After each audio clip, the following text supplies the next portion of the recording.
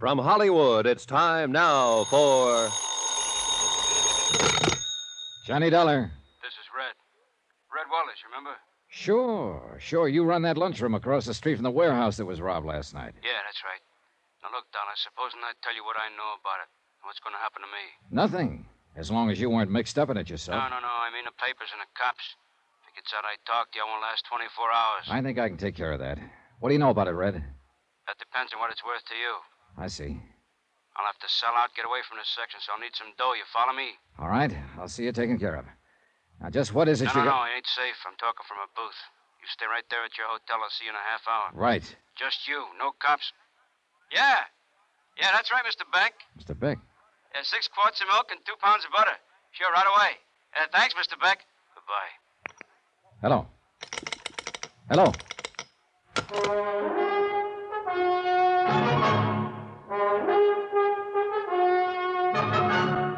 Tonight and every weekday night, Bob Bailey in the transcribed adventures of the man with the action packed expense account, America's fabulous freelance insurance investigator. Yours truly, Johnny Dollar.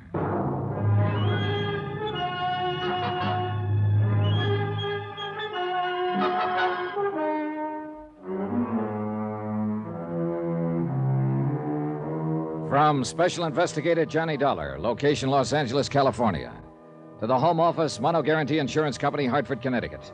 Assignment The Silver Blue Matter. Expense account continued. Item four, 20 cents. A phone call to my friend Lieutenant Garcia of the LA Police and a call to Queen of the Angels Hospital. Albert Chrisman, the night watchman who was slugged by the gang of teenage hoodlums during the warehouse robbery, was still unconscious. And Chrisman, unless Red Weller was ready to talk now, was the only lead I had toward finding $100,000 worth of silver blue mink coats. I waited two hours and a half for Red Weller, but he didn't show.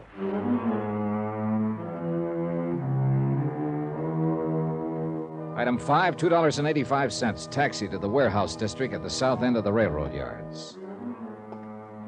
It was night by now, and the area was almost deserted. A lost, lonely district, shabby and worn even in the softening darkness, and haunted now by fear. The only lights in the block were those shining from the windows of the warehouse office and from Weller's lunchroom across the street. Good evening. Hello. What would you like, sir? A Cup of coffee, I guess. Oh, you're lucky. I just made some fresh. Good.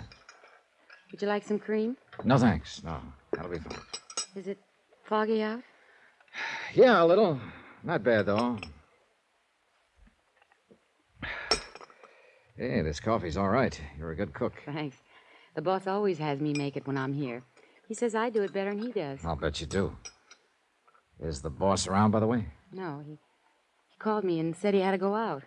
That's why I'm working. I'm on in the daytime mostly. Do you have any idea where he might be? No. No, he had to go somewhere, I guess. What'd you want to see him about? He wanted to see me. Do you know where he lives? Well, he's got an apartment over on Marina. It's about eight blocks from here. Think he'd be there? No, he he wasn't going home. He he, was going out somewhere. He, he acted kind of strange. I, I I don't know what he was going to do. Uh, may I may I ask just what business you're in? Insurance. Oh, I'm a special investigator. what do you mean? I'm working for the company that insured those furs. The furs that were stolen the night before last from the warehouse across the street. Something wrong? Oh no, no, of course not. I, I, I don't know what you mean. Oh? Can I help you gather up that silverware? Oh no, no, that's all right. I, gee, I, don't- I, I don't know what happened. Just careless, I guess. Yeah. Do you, uh, do you live around here somewhere? Well, yes, yes, on Dalton, um, three blocks up. What's your name? Carla, Carla Monte. Why are you asking? How long have you worked here, Carla? About a year? Do many teenagers hang out here?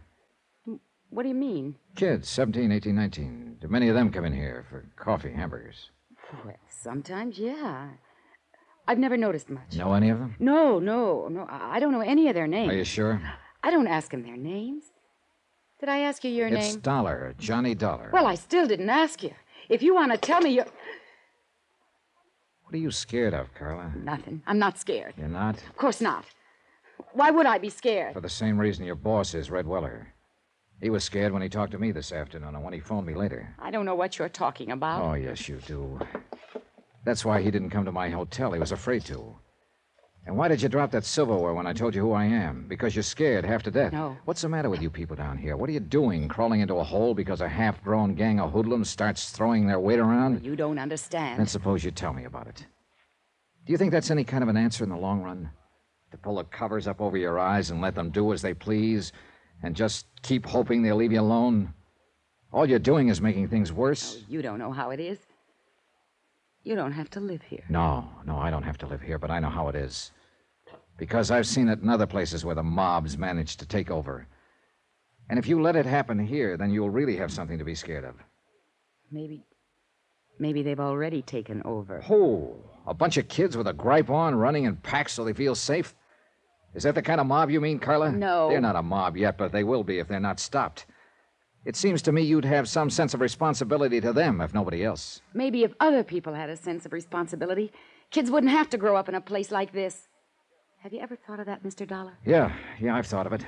But it doesn't hold water. Well, you'd think so if you lived here. All right, so it's a slum district. And sure, these kids start out with a strike on them. But that's a pretty weak excuse for joining up at criminal bands and terrorizing a whole neighborhood, for slugging people and looting warehouses. Yes, yes, I know. Most of them find other answers. It's only a small minority that turns to crime. But if you let them get away with it, others will join them and they'll grow until finally it's too late. Well, Carla? Still nothing to tell me? I can't. I just can't. I see. Well, there's a quarter for the coffee. Keep the change. Good night, Carla. Wait, Yeah? Mr. Dollar.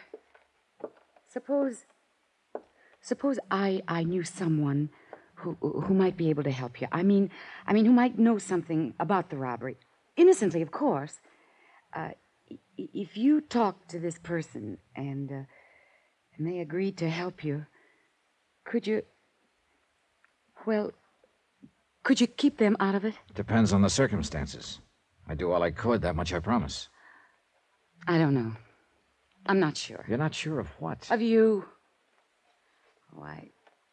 I know better when I stop and think, but I've lived in this neighborhood too long. Lived with these people, and hmm? I'm bound by the law like any other citizen, and I won't break it to help somebody cover up a criminal act. But I figure it's up to me sometimes to decide whether a thing is a criminal act.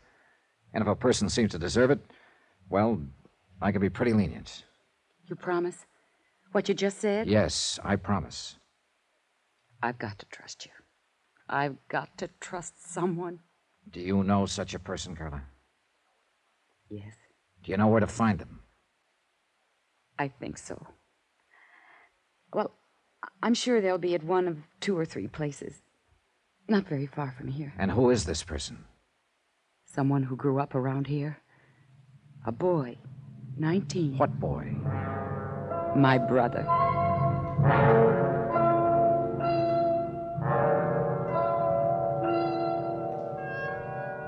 Expense account item seven, $2.70, taxi. We went first to Carla's apartment where she lived with her brother, but there was no one there. Then we checked out a drive-in a few blocks away, a teenage hangout. No luck. Finally, we tried a pool hall down south of the yards, just off Alameda Street. It was our last hope. I know he comes here. It's not a good place for him, but a lot of the other kids do too. And he wants to belong. Yeah, sure. Everybody does, in one way or another. Oh, gosh, it'd have been different if our folks had lived, but well, our boy just won't take orders from his sister. Yeah, I know. Go ahead. Thanks. Gosh, let's see. Well, if he's not here, then I just don't know where he. Oh, wait. There he is. Down near the corner. The one with the dark curly hair. All right, come on. Take it easy. Just tell him I'm a friend of yours and you want to talk to him. We'll get him off to one side. Well, whatever you say. Eddie. Yeah? Well, for the. What are you doing here, Carla? Eddie, Eddie, this is Mr. Dollar, a friend of mine. We were. I wonder if we could talk to you for a moment. What about? Well, You just- know better than to come in a joint like this. But I want to talk to you, Eddie. I can talk to me at home. Now, go on, get her out of here, will you, mister? It might be a good idea if you listen to her first. I thought it was her that wanted to talk to me. Go on, get her out of here. All right. If you'll go with us. What for? I like it here. It's a nice place. Yeah?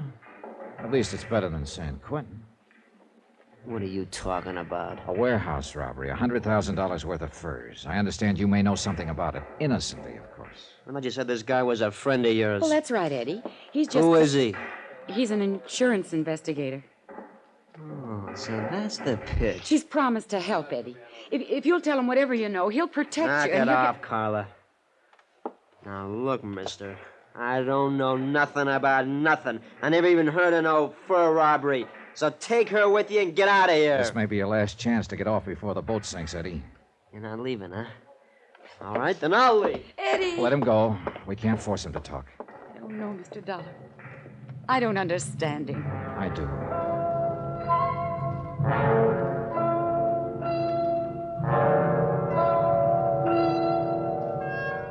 Item 8, 10 cents. Phone call from the pool hall to Lieutenant Garcia at police headquarters.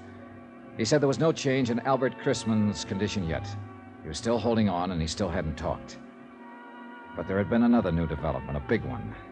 And when I joined Carla in the taxi outside, she knew it by the look on my face. What's wrong, Mr. Dollar? Now, look. How sure are you that your brother wasn't mixed up in that robbery? Well, I. I want the truth. I. I'm afraid he was mixed up in it. Then brace yourself, Carla. Your boss, Red Weller, who was going to tell me what he knew about it, was found murdered in an alley an hour ago.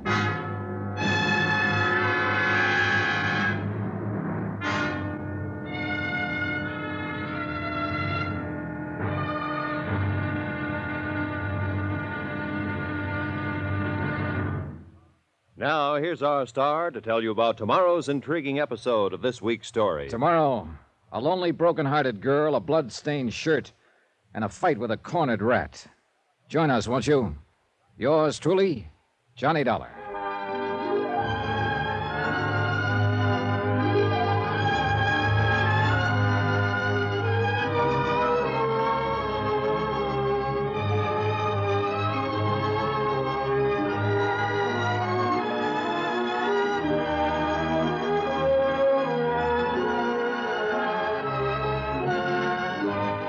Yours truly, Johnny Dollar, starring Bob Bailey, is transcribed in Hollywood. Written by Les Crutchfield, it is produced and directed by Jack Johnstone.